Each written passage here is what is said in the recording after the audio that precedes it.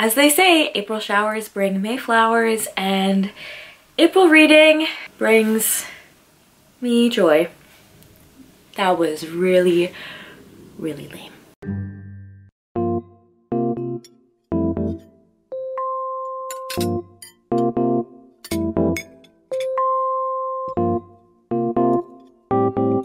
Hello and welcome to my channel. It is going to be a TBR. I am so excited that I have been keeping up with posting my TBRs and wrap-ups. Do I ever stick to the TBR completely? Probably not.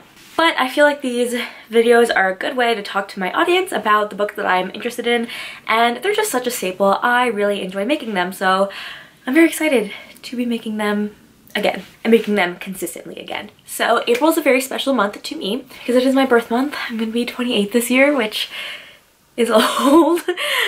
Way older than I was when I started this channel. I don't know if when I started this channel, I knew I would keep doing it for so long. I was like, must have been like 22, 23 when I started this because it was just after I graduated college. Yeah, so it's crazy crazy. Last month I set a very fantasy romance TBR and it was so fun, but I realized that my mood definitely does shift. So I want to try and make my TBRs as flexible as possible and not overload myself.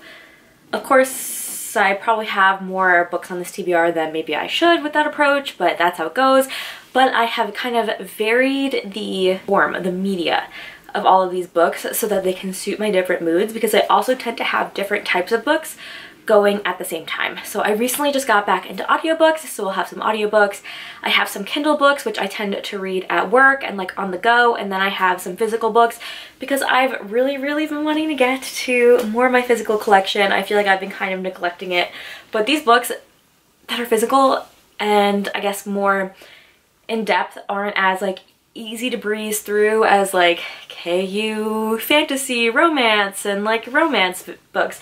So I don't tend to pick them up all the time, but I need to be better about that because like these types of books, they have my heart and soul. So with that being said, let me get into the many varied different things that I want to read in the month of April. So one a series that I've been meaning to read forever that I finally got around to reading in March is Vampire Academy by Richelle Mead.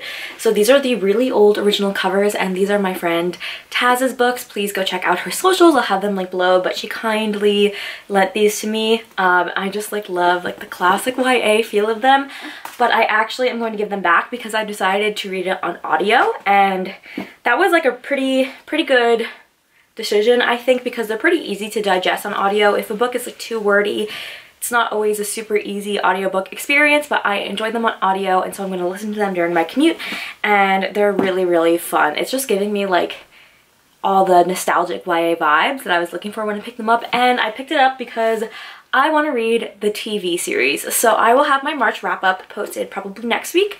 So be on the lookout for that to hear my full thoughts on Vampire Academy. But on my TBR for March, I have the second and the third book. So I have Frostbite and Shadow Kiss. So I'm like back in my like 2000s YA era because I'm so excited for these. And again, like I said, I'm gonna also watch the TV show. I read this book in like a day because I was working for a long time, like solo work in the lab. So I was able to just listen to the audiobook and then like as I was doing chores and stuff like that. So I blew through this first book, but I had so much fun. And let me tell you about it. So I had actually never read this in the heyday of vampire books. There are some like older YA books I would love to go back and read that have vampires in it, like Blue Bloods by Melissa De La Cruz. Like that was my series. But for whatever reason, I never picked this one up. But it is time. It is time to be back in the vampire era, especially considering it has a TV show now. So, we have Lissa Dragomir, and she is a Moroi princess, which is the royal vampire princess. And the Moroi are mortal vampires that are born and they attend this like vampire academy where they like learn about all their skills and they're like very peaceful and their magic comes from the earth. They have elemental magic and they only want to use it in peaceful ways. However, they are being hunted by what's known as the Strigoi, which are like the traditional immortal scary vampires. They both have to drink blood though. Um, and so like a Strigoi is like obviously like disconnected from their humanity because they're immortal and they like when they feed they like are they go hungry and scary and they want to hunt the Moroi and eat them. And then you also have a Dhampir, which is a half human, half vampire, and they are what's known as the guardians, and so they are the ones that are trained to like protect the Moroi so that the Strigoi don't get them. Um, so Rose is a Dhampir, and Dhampir don't have to drink blood, but they have like more skills and whatnot um, from their vamp vampire heritage. And so Lissa and Rose have this bond as like the guardian and the charge um, and in the beginning of the book they had run away from this academy because Lissa thought that she was being hunted. And they at the beginning of the book they get caught and they get brought back to the academy. And so like in the time away like Rose really hasn't been able to keep up on her skills. And so she gets assigned extra training with this seasoned guardian named Dimitri and Rose and Lissa are just like navigating through the academy social circles of all these like royal families and like relationships and other teenage things as well as like magical powers and this like psychic connection that they have because Rose can feel Lissa's feelings. It's so fun. It's just like such great nostalgic YA vibes and I will be continuing with the series. I had so much fun and yes. So now we are looking, oh my god, these covers are just like so peak YA. So now we have Frostbite, and apparently this takes place during winter break because the tagline says, when love and jealousy collide on the slopes, winter break turns deadly.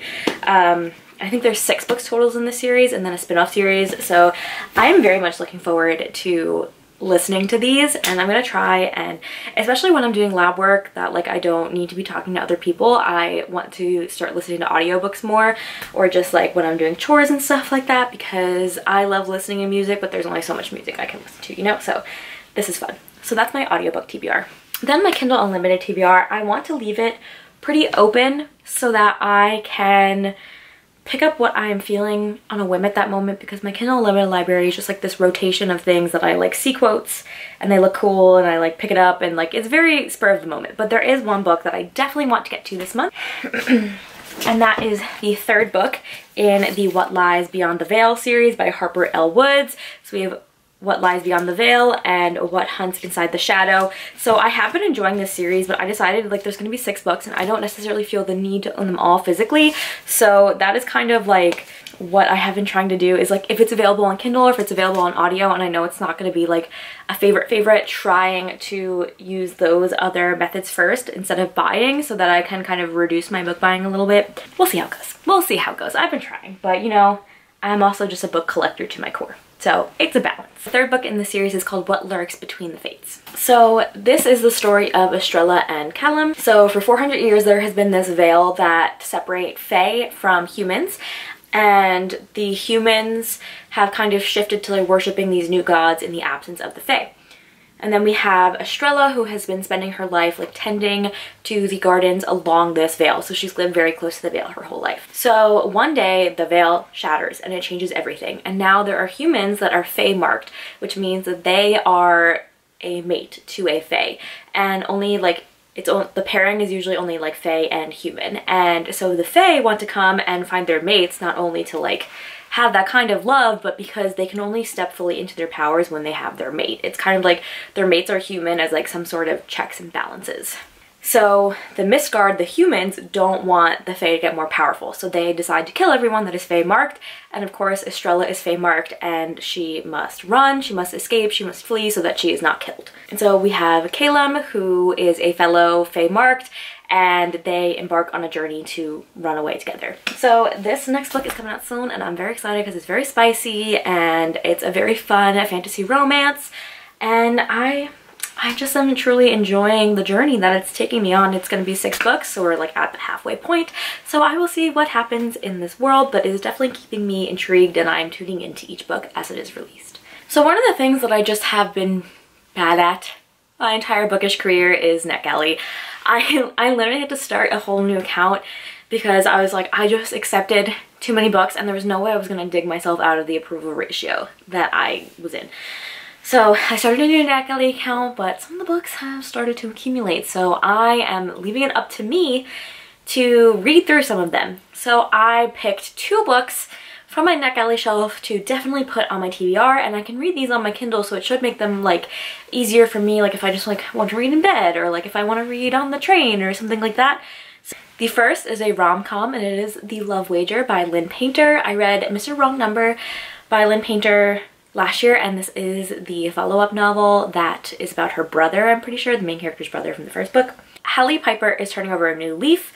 After she crawls out of a hotel room she's like I've hit rock bottom and I'm just gonna become a full-on adult. So she downloads a dating app and there he is none other than Jack the man whose hotel room she crawled out of so through the app, they make a joint agreement. They are becoming partners in their respective search for the one. And of course, they are not interested in each other. So they text about each of their dates. And when they go wrong, they of course meet up for tacos after. And they make a wager. Who can find true love first? And then they agree to be fake dates for a wedding. I mean, it just has all the tropes. I think it's just gonna be really fun and like I love the idea of like a bet about like who's gonna fall in love first because we all know how that's gonna go. But this one just sounds so cute and fun and I adored Mr. Wrong Number when I read it last year. Again, I thought it was like adorable, it had spice, like it was really good. So I'm really looking forward to reading this follow-up novel. The next book that I have on my NetGalley shelf that I want to read, I also have a physical ARC of, and that is Where Darkness Blooms by Andrea Hannah and this is horror. I have not read a young adult horror in a while, but I actually really love this genre. Um, I do believe this book is out now. Let's see what the publication date is. Yeah, it came out uh, February 21st. I mean, horror sunflowers. So it, the tagline is, Andrea Hannah's Where Darkness Bloom is a supernatural thriller about an eerie town where the sunflowers whisper secrets and the land hungers for blood. The town of Bishop is known for its endless windstorms and its fields full of sunflowers.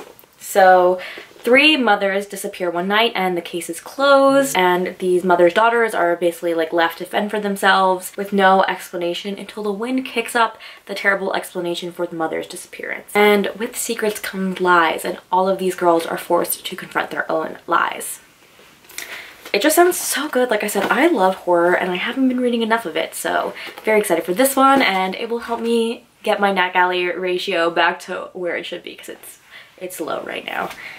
Okay, now moving on to just some physical books that I would like to read in the month of April. The first one is A Light in the Flame by Jennifer L. Armentrout. If you saw my March TBR, I had A Shadow in the Ember on there, and this is the follow-up novel. Um, ooh, and I forgot I got my little pre-order bookmark pretty. This is the Under the Dust jacket. So I am currently filming a From Blood and Ash like catch-up vlog with Shadow in the Ember, War of Two Queens, and A Light in the Flame. And I, this is the only one I haven't gotten to yet. So I would like to tackle it in April.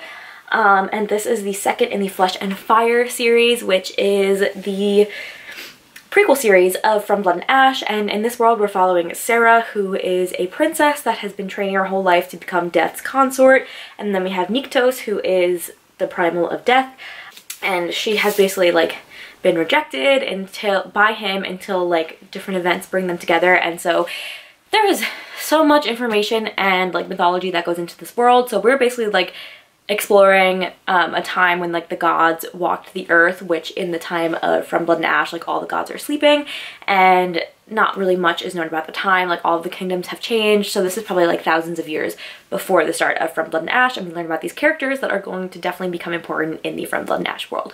I loved Sera and Nyktos in the first book and the ending, the ending of the first book left me a little stunned and so I'm very excited to start this one and to finally be caught up on From Blood and Ash and I think the next book that's coming out in this world is the first From Blood and Ash book in Casteel's point of view which very excited about. Then these next two books, if you saw my spring reads recommendations like this will look familiar to you, but I really wanted to read these two spring books. The first one being The Poison Season by Mara Rutherford. Mara Rutherford has beautiful writing, one of my favorite covers ever. Um, so this is about Leelo and she lives on this enchanted island of Endla and they do not let any outsiders in. There's this, this bloodthirsty forest around the island that will protect them as well as the island is in a poisonous lake and so no outsiders are allowed in. So Leelo sees a young outsider on the verge of drowning in this poisonous lake and she does the unthinkable and saves him which is betraying everything that she's ever been taught about this island and their, her community's way of life. But she begins to question whether the danger is really from the outside or within the community itself. Just like anything that's nature and like plant-based just gives me spring vibes and I just adore this cover. I know Mara Rutherford has beautiful writing and I'm very excited to read it. So one other book that I need to finish that I started reading and then put down is The Wicked King by Holly Black and I put this down because I had like a life event happen and I really didn't want this series to be affected by that life event and like I don't want to get into the details. That's just what happened. Um, I'm okay and I'm doing better mentally now. So I feel ready to pick this back up because I was rereading the series in anticipation of The Stolen Heir. So I don't want to put the other books on my TBR because this is already a pretty stacked TBR, but I do want to at least finish this. I was on page 153. Um, the Cruel Prince is the story of Jude and she was abducted from her mother and father just living a normal life um, when she was a child and has been brought to live in Faerie and raised by a fairy general and in the land of Elfhame. Um, she really wants to prove herself and become a knight for one of the princes. Um, and so she kind of gets into some scheming to be able to prove herself to these fairies, um, being that she is just a lowly human. Um, and we also have Prince Cardan, who is one of these princes that her scheming kind of brings him in and I just love the dynamic of these two. This is such a good series and these books aren't that long either. Um, I was really enjoying rereading them and I'm, I'm hoping I can just get right back into it when I pick this book up again. The last book on my TBR is a cottagecore fantasy called Flowerheart. A power she can't control, a curse she can't undo, a boy she can't forget and this is by Catherine Bakewell. And in this book we follow Clara and she has wild magic but has never been out of control until the day that she touches her father and causes poisonous flowers to bloom in his chest. Now she needs a powerful spell to be able to undo the damage and she turns to her former childhood best friend Xavier who has gone from shy to mysterious. Xavier asks for a terrible price in return, knowing Clara would do anything for her father, and she begins to uncover some of the dark secrets that are causing him to act this way that is very out of character from the boy that she knew growing up. And as she hunts for the truth, she finds the roots of a terrible darkness that is taking hold in the queendom, and only her magic might be able to save them it's just this cover is everything to me. I adore it and i really hope i adore this book. Also i think the back is so cute. Like look at all these potions. Like this this is what i want my springtime to be like just like flowers and beauty and nature. Like yes all right guys that is my april tbr again this is my birthday month so i'm very excited for april in general i also got engaged on my birthday so it is the one year anniversary of my engagement as well this month april 26th just all around very, very excited for this month. If you've watched this far, please put a little birthday cake emoji. Um, let me know down below what you are most looking forward to reading in April and have some fun, read some books, and I'll catch you guys in the next one.